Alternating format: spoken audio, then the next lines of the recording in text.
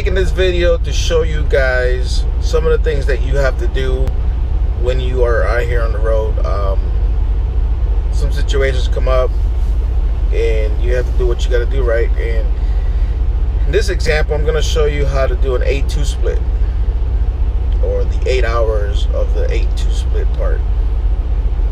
And the reason I'm doing that was because when I first got my load I immediately knew what I had to do just in case the shipper did not have the load ready, which had happened.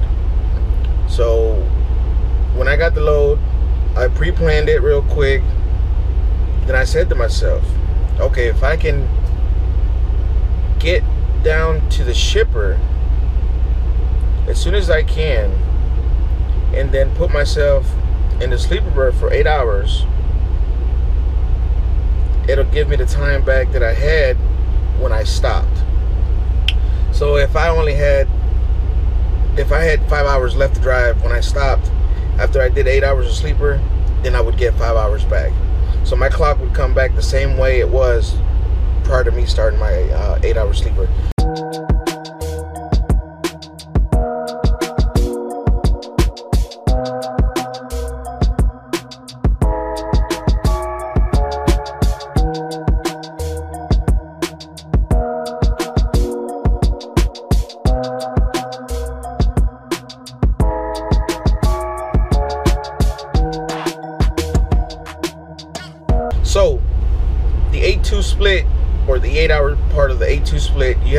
Sleeper berth for 8 hours, continuous. Not 5 minutes off duty and 7 hours and 55 minutes sleeper berth. No, it's got to be 8 hours sleeper berth, continuous, in order for the 8-2 split to work. And again, at that time, your clock would come back the same way it was prior to you starting the sleeper berth. So let's say you only drove one hour, then you did eight hours sleeper berth, then that clock will come back and say that you that you have 10 hours left to drive again. So it's a it's a way to get to kind of stop your clock and kind of get it back if you need it, or you can wait two more hours and get a full 10 hour clock. Which sometimes the 10 hour clock doesn't always help, but you know, I'm gonna show you what I'm gonna do in my situation. And again, when I first got this load, I pre-planned it and I already knew what I had to do or just in case. I didn't want I'm the type of person that I don't like to wait an hour before my appointment and then show up, start my clock and whatnot. I always like to get the shippers and receivers as early as I can. That's my thing. If you know any of my students or anybody that knows me or calls me for any advice, that's exactly what I'm gonna tell them. Get to the shipper, sleeper berth, or you know, do your thing at the shipper, reset or whatever. Sometimes you gotta do what you gotta do. But anyways, I'm I'm just trying to explain a little bit of why you would do something, you know, like this. Um, so I'm gonna show you my clock right now. I started my clock about 10:32 this morning, and I'll show you that on the Qualcomm. And I'm gonna show you everything you need to know as far as what I did and what I'm gonna do. All right, guys. I hope this helps you. If you have any questions, let me know. I know this is a, a, a video I haven't posted yet because this is something that I want to make sure I get it right. Because if I don't explain it properly, then you know a lot of people's not gonna they're not gonna be able to do it properly. So again, the eight hours uh, sleeper berth has to be continuous, and that's part of the eight-two split. So this is something you can do if you want to stop your clock and you need to get going ASAP. Then you can do that. So in my case, I'm gonna tell you about my case. So I got here about two o'clock and the appointment's not for 6 they said i cannot check in till 6 p.m and so i'm already thinking if i cannot check in till 6 p.m if i wait four more hours then I'll get an 8-2 split. Because my appointment is between 1 a.m. the next day and 7 a.m. So that means I'm going to have to run overnight. Sometimes we don't want to drive overnight, but it's what we got to do. So um, let me explain that with showing you pictures of the clock.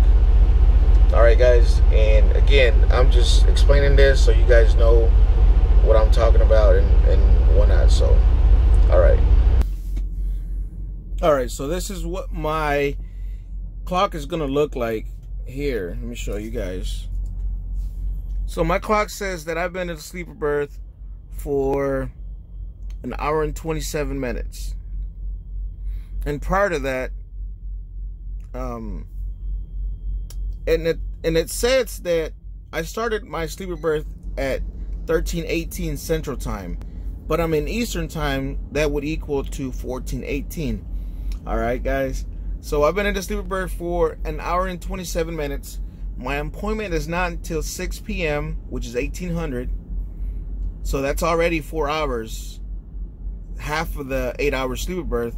So all I gotta do is wait eight, uh, wait four more hours, and I will complete my eight-hour sleeper berth and then get my clock back.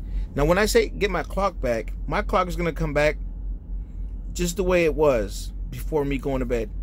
Obviously, the 14-hour clock has already ran down an hour and 28 minutes. So,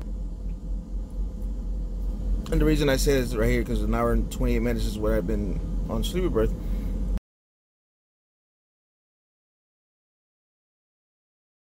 But the the clock is going to come back the way it was, which it's going to tell me that I have eight hours and 40 minutes left to drive, and it's going to tell me that I got um, 10 hours and some change left to of my 14 hour. All right, guys. So, how do you know what time you started your clock? You go to you can go over here to certify, and then you go to date the date you're driving, which is seven eight, and right there, it says I started my clock at 9:32 Central Time. Again, the Qualcomm is based off Springfield, Missouri Central Time, so in, that would equate to 10:32 this morning. So what I said to myself, ooh, I gotta get this load. I got this load. I'm gonna get down there to the shipper and um, start my eight hour sleeper berth because I already know just in case they don't take me. I was already reading the notes and the notes say that they wouldn't take me early and this and that and whatnot. So I was already prepared for that and you see the off duty an hour and uh, some change. That was because I stopped and took a shower and got some to eat. Well so I got here. I drove an hour and 37 minutes first and then drove another 41 minutes after the shower as you can see that. Then when I got here I put myself in the sleeper berth alright guys as you can see that I've already been in the sleeper berth for an hour and 29 minutes. Again, the eight hour sleeper berth has to be continuous. There cannot be any break in between. So the clock, after I do complete my eight hours, the clock is going to come back and tell me that I have eight hours and um, 40 minutes on my 11 hour driving. And then it's going to tell me 10 hours and 10 hours on some change. We'll see though, because you can see the 14 hour keeps on ticking down. So, what we're gonna do is, I'm gonna lay down, um, or try to lay down actually, you know, because I slept all night, delivered this morning, and no whatnot. So, get my um, eight hour sleep sleeper berth, and then go from there.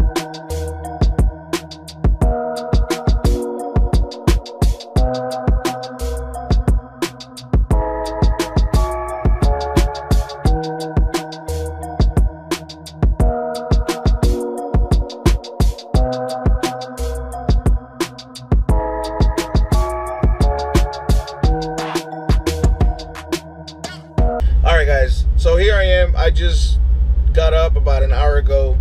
I set my alarm for 5:45. Checked in like they told me. I dropped the empty trailer and I hooked up to the loaded one, and um, did the paperwork, did the pickup, drop trailer inspection report, everything. Um, and I parked over here because they got overnight parking. So the lady said I could park over here, why not? So um, when I finished all that, I had about six hours on my clock and it continued to count down, and I'll show you that. But I decided not to go ahead and go because I needed my full clock, being that I was going to be going into Virginia. So I need uh, all the time that I can get, and I didn't want to hit rush hour and everything. So I'll be driving tonight, less traffic and on the road and whatnot. So let me show you the clock. All right, so this is what the clock looks like now. And it says that I've been in the sleeper berth for four hours and 30 minutes, which we're looking to get um, eight hours continuous. I just did my drop and hook at the shipper, so I'm ready to go as soon as my eight hours hit. And um, this is what my clock is looking like now. So when I got my paperwork and my load, the clock said six hours and six hours and some change on my 14 hour clock. But as you notice, that clock is continuously going down because remember guys, I started my clock at 10:32 this morning. So from 10:32 I have 14 hours to drive the 11 hour clock. But we're not doing that, so I'm gonna wait three more hours, three and a half hours, I should say, to complete my eight hour break, and then I'm gonna start driving, and then you know finish out my clock or get to my receiver.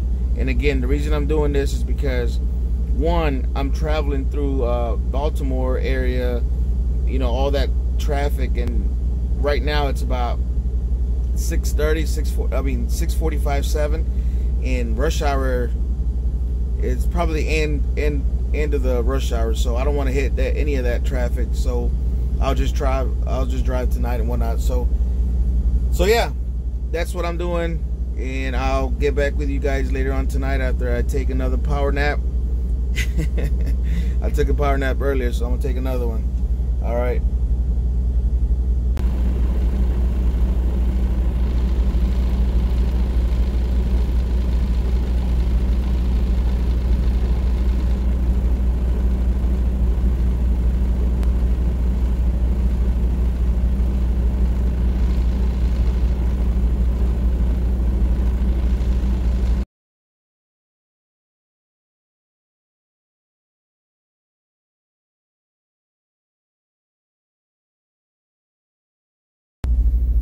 All right guys. As you can see i've been in the sleeper berth for eight hours and seven minutes and this is what my clock looks like.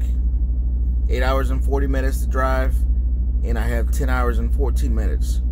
And if you remember right i was telling you that i was going to get 10 hours and some change. So so yeah that's that's what the clock looks like. So what i'm gonna do is i'm gonna head over there now. I'm about 250 miles and then i will get to my destination with ample time on my clock and we should be good. All right, guys, so that's the eight hour sleeper berth, uh, which is part of the 8-2 split. All right, so this is something you have to do whenever you get to a shipper and they hold you over for longer periods of time than expected. So.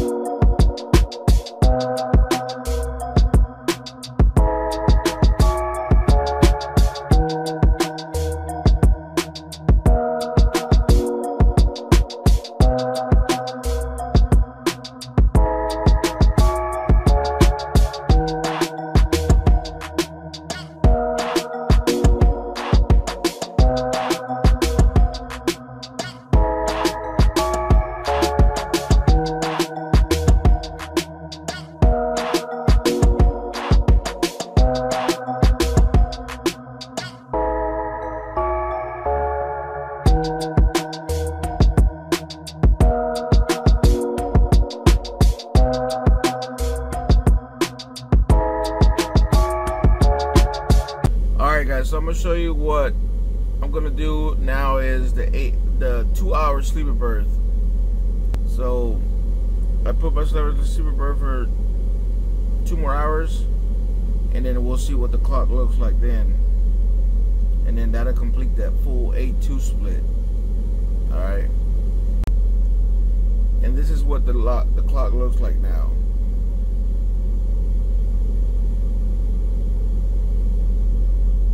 So I've been in the sleeper berth for three hours, and this is what my clock looks like. I had five hours and 42 minutes, and I had 14 hours, five hours and 20 minutes, something like that.